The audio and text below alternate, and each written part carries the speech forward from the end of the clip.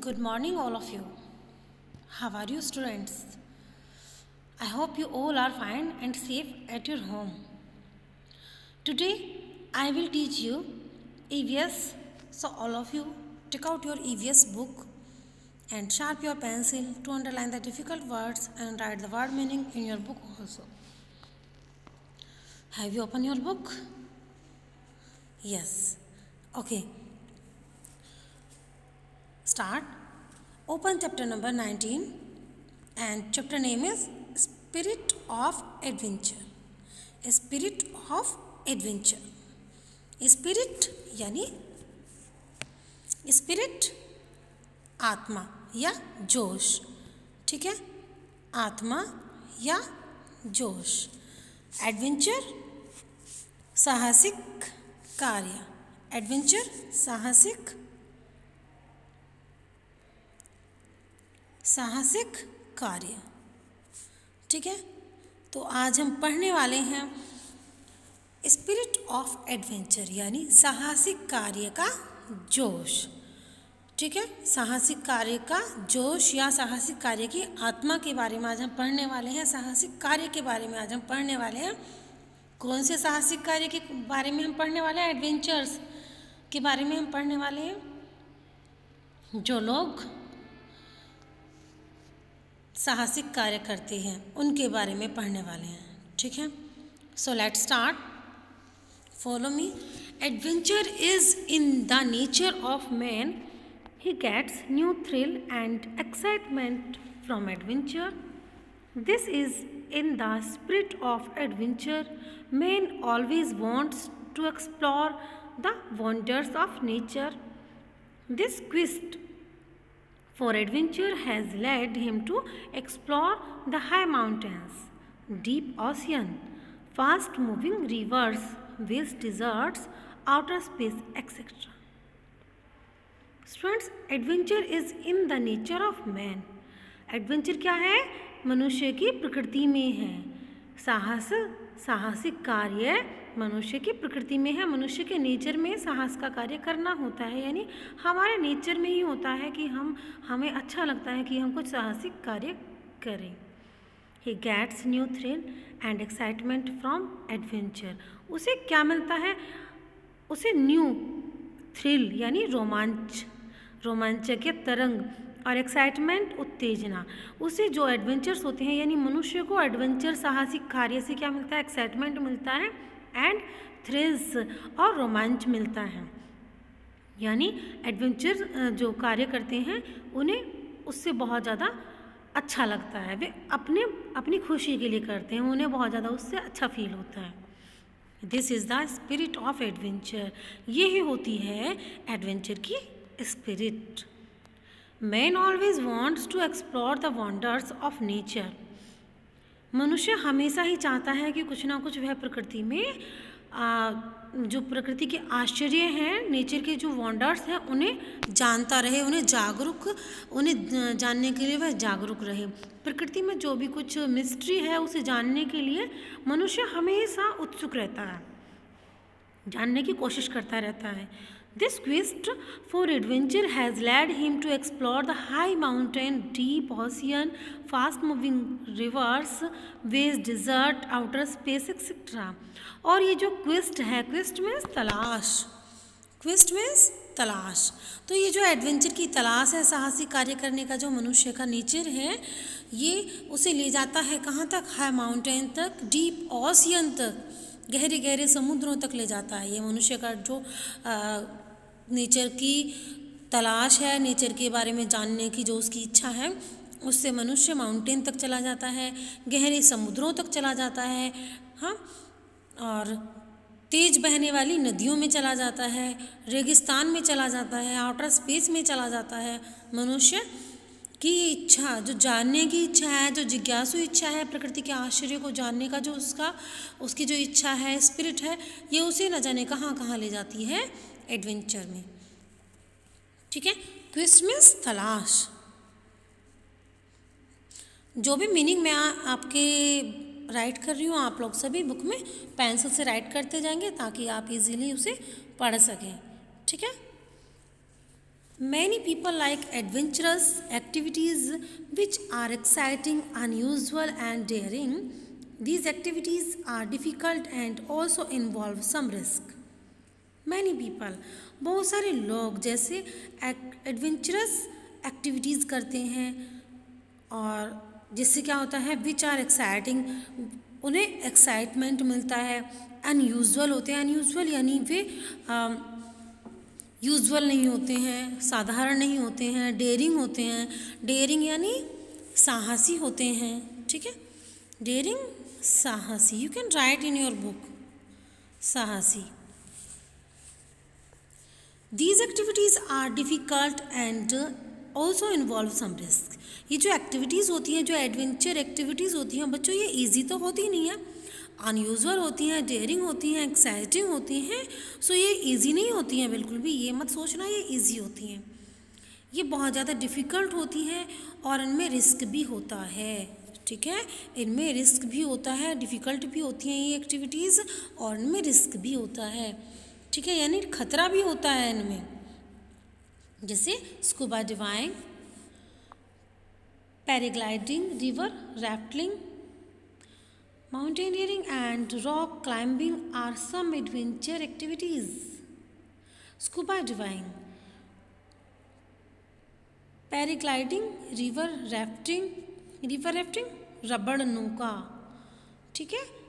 Paragliding आप देखिए parachute से जो राइडिंग कर रहे हैं scuba diving and rafting mountaineering and rock climbing पहाड़ों पर चढ़ना, चट्टानों पर चढ़ना, ये सभी जो एक्टिविटीज़ हैं, ये एडवेंचर एक्टिविटीज़ मानी जाती हैं।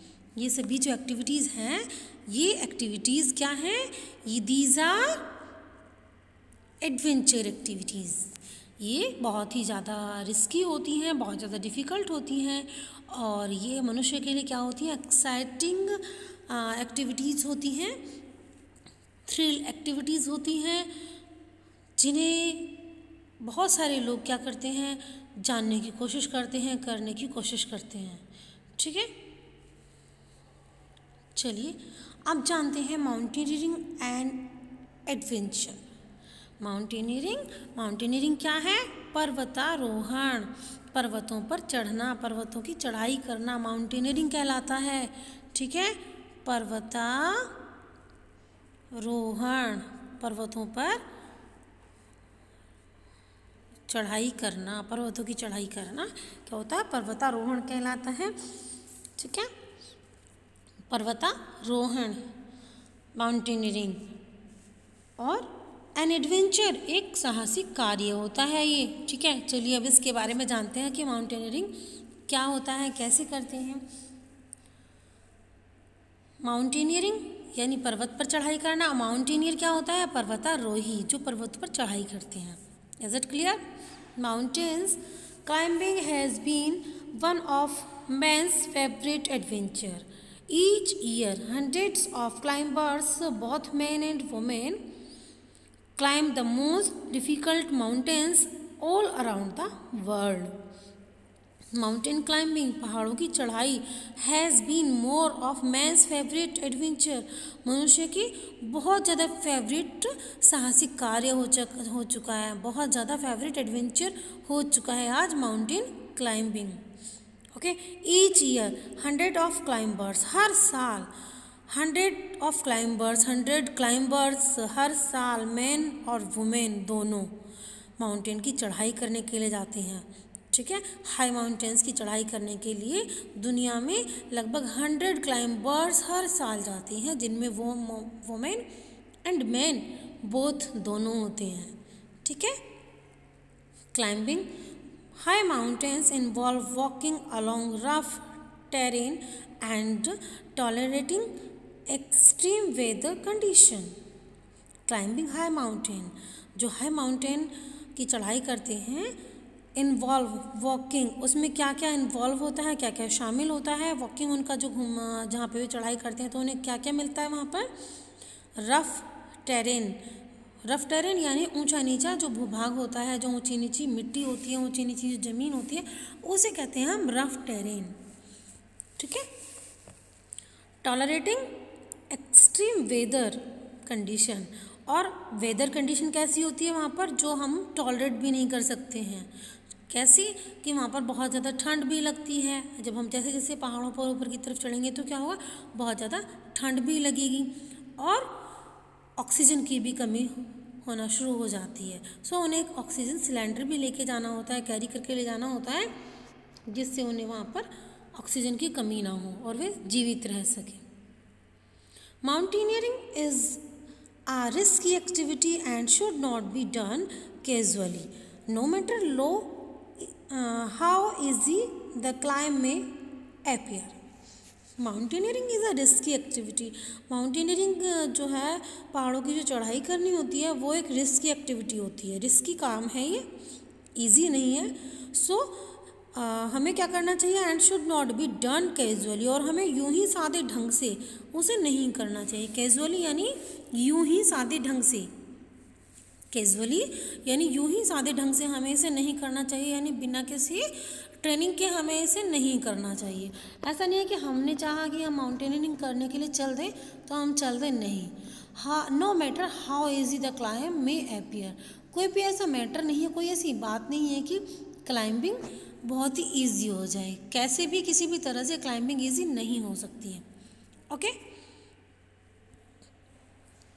many mountaineers are attracted to the Himalayas as they have the world's highest peak Mount Everest the world's highest mountain peak is 8848 metre above the sea level. Many mountaineers have climbed it, but it was Sir Edmund Hillary and Tenzing Norgay who became the first men to reach the top of the peak on 29 May in 1953.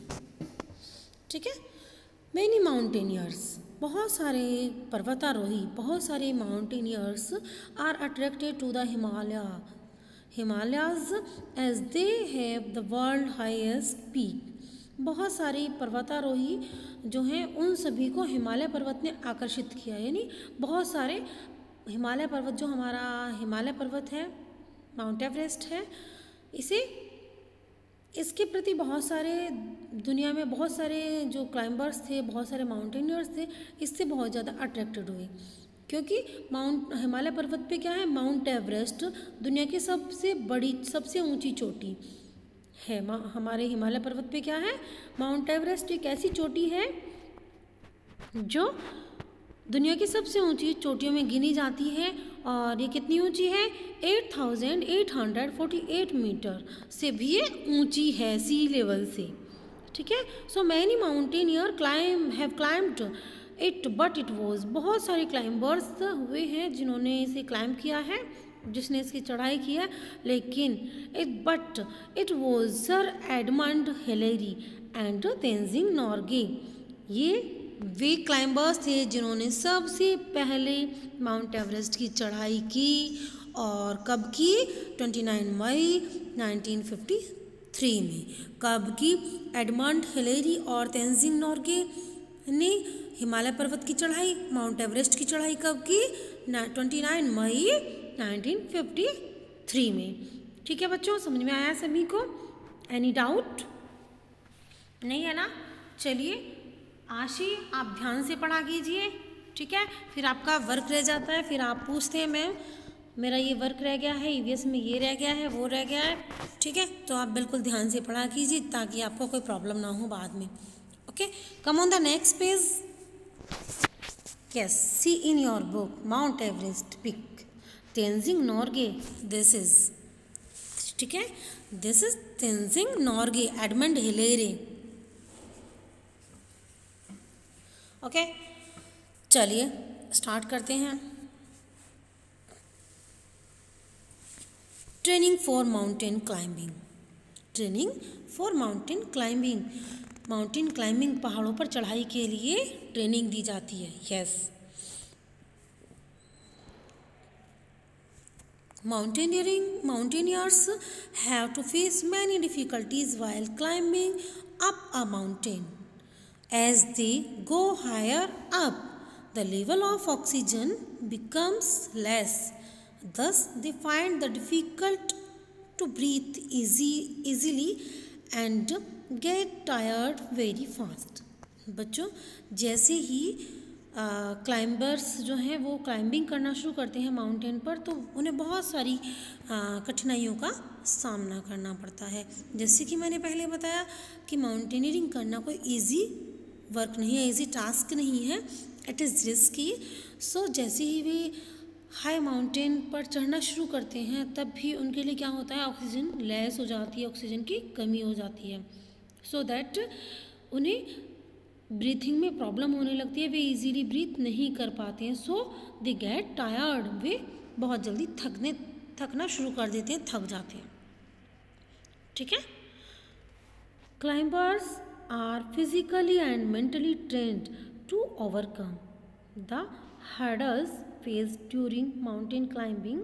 They are acclimatized to cope the cope up the adverse conditions up have to face they have to face during their climb climbers are physically and mentally trained to overcome the hurdle faced during mountain climbing hurdle means नए वातावरण का सामना करना hurdle means नए वातावरण का सामना करना तो क्लाइंबर्स को फिज़िकली और मेंटली ट्रेंड किया जाता है शारीरिक रूप से और मानसिक रूप से उन्हें पहाड़ों पर चढ़ने के लिए जो समस्याएँ आती हैं, उन परेशानियाँ, उन समस्याओं से संघर्ष करने के लिए, उन्हें फेस करने के लिए, उन्हें पहले से ही नए वातावरण के लिए तैयार कराया जाता है। ठीक है? They are acclimatised to cope up with adverse conditions they have to face during their climb उन्हें क्या करा जाता है? ये जब वो चढ़ाई करते हैं, चढ़ाई करते हुए उन्हें जो भी समस्याएँ आती हैं, जो वे अनुभूत करते हैं हम उनके अनुकूल एक्लिमेटिज्ड अनुकूल होना, उन्हें उनके अनुकूल होना सिखाया जाता है कि वो उनके, यानी अनुकूल यानी उनके जैसा होना। जैसे आप अब सर्दियाँ पड़ रही हैं इस मौसम में, बहुत ज़्यादा कोल्ड है, सुबह आपका लगभग तीन डिग्री तक टेम्परेचर हो जाता है तो क्या करते हैं आप? आपको सिखाया जाता है उसको, उसके अनुकूल होना। कैसे? आप वार्मर डालते हैं बॉडी वार्मर डालते हैं जैकेट डालते हैं, ऊपर से शूज़ डालते हैं कैप लगाते हैं। ठीक है? तो उसी तरह से उन लोगों को भी सिखाया जाता है जो क्लाइंबर्स होते हैं माउंटेन नियर क्लाइंबर्स उन्हें सिखाया जाता है कि किस तरह से वे नए वातावरण से, उनका सामना कर सकें, उनके अनुकूल अपने आप को कर सकें।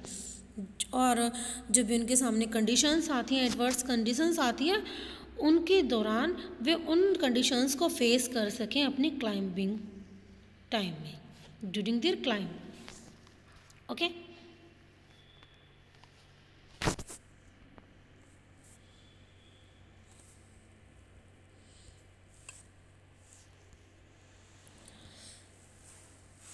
there are two such training institutes in India India में टू ट्रेनिंग इंस्टीट्यूट्स हैं, जो माउंटेनियरिंग क्लाइंबिंग सिखाते हैं Himalayan mountaineering institute H M I के नाम से इन दार्जिलिंग जो दार्जिलिंग में है and Nehru institute of mountaineering N I M N I M के नाम से दार्जिलिंग ये नेहरू इंस्टीट्यूट ऑफ़ माउंटेनियरिंग है, ये उत्तरकाशी में है, उत्तराखंड में। ठीक है? These institutes provide intensive training program to the learner and to give mountaineers regular training and practice. ये जो इंस्टीट्यूट हैं ये जो माउंटेनियर्स जाना माउंटेनियर्स होते हैं या माउंटेन की चढ़ाई कर करना चाहने वाले लोग होते हैं उन्हें ये बहुत जल्दी इंटेंसिव यानी तीव्र गति से बहुत तेज़ी से ये उन्हें ट्रेनिंग देते हैं ट्रेनिंग प्रोग्राम्स होते हैं इनके और रेगुलर भी वहाँ पर ट्रेनिंग कराई जाती है और प्रैक्टिस कराई जाती है माउंटेनियरिंग की।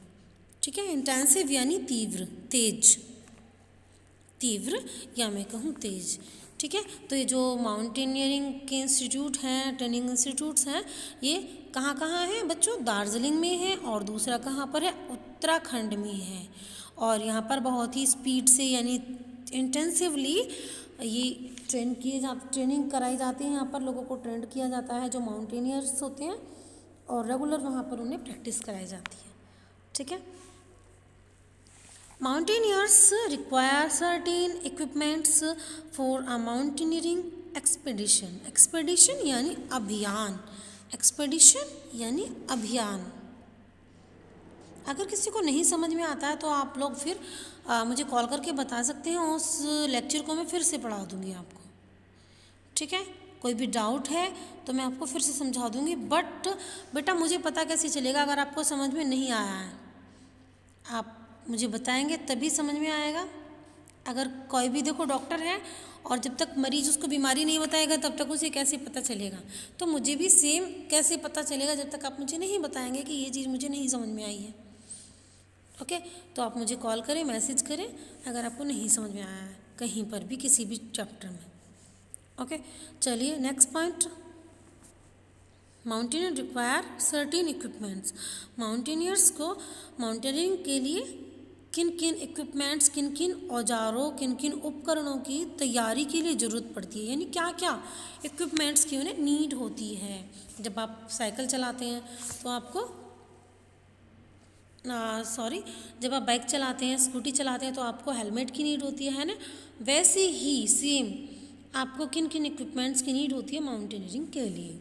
A back packing bag with spare clothes back packing एक बैक पैक चाहिए आपको बैग जिसमें आपके स्पेयर क्लॉथ्स हों एक्स्ट्रा क्लॉथ्स हों, ठीक है? फ़ूड चाहिए मैप चाहिए compass water bottle first aid box, first aid kit, okay, waterproof jacket etc which should not weight more than 15 kilogram जिसका जो वेट होता है वो 15 किलोग्राम से ज़्यादा ना हो, क्यों? उसे आपको कैरी करने में भी प्रॉब्लम हो सकती है। अगर आपका इनका वेट ज़्यादा होगा तो आप कैरी नहीं कर पाएँगे। Mountaineering boots with thick rubber sole and card crampon ठीक है? तो क्रैम्पोन कहते हैं उन शूज़ को, बूट्स को, जो माउंटेनियरिंग करते टाइम नीड होती है। वे कैसे होते हैं? थिक रबर सॉल के होते हैं।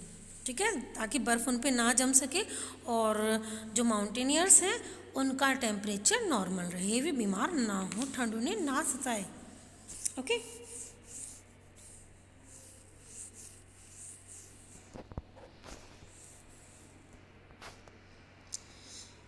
climbing rope, waist harness, ice axe, sleeping bag, tents, sling, etc. तो बच्चों, और क्या क्या चाहिए? क्लाइंबिंग रॉप चाहिए। जब आप पहाड़ों पर चढ़ेंगे तो आपको रॉप की नीड होगी, यानी रस्सी की नीड होगी। वेस्ट हार्नेस कमर पर एक हार्नेस चाहिए, ठीक है? जैसे हम घोड़े को साज पहना देते हैं ना, आपने देखा ना, घोड़े के ऊपर क्या होता है, एक तरह का कपड़ा होता है ना डेकोरेटिव उसी तरह से वेस्ट हार्नेस चाहिए, जिससे क्या होता है कि जो भी हमारा सामान होता है कैरी करा हुआ उसे हम चोट ना खा सकें। आइस एक्स आइस एक्स कैसी होती है? जो आइस में जिस कुल्हाड़ी को हम उसे खड़ा कर सकें, गाड़ सकें और उससे चलने में मदद ले सकें। स्लीपिंग बैग एक इस तरह का बैग होता है इनका जिससे इसमें स्लीपिंग कर सकते हैं। टेंट स्लिंग एक्सेट्रा की नीड होती है क्लाइंबर्स को। ठीक है? तो अब आपको पता चला कि climbing adventure is not easy is very risky is very difficult okay तो अगर आप बनना चाहते हैं क्लाइंबर्स तो आप सोच सकते हैं इस पर। लेकिन है बड़ा ही एडवेंचर ये, बड़ा ही थ्रिली बड़ा ही एक्साइटमेंट एक्टिविटी चलिए, आज के लिए इतना ही। मिलते हैं नेक्स्ट क्लास में बचेंद्री पाल के साथ में। Okay bye bye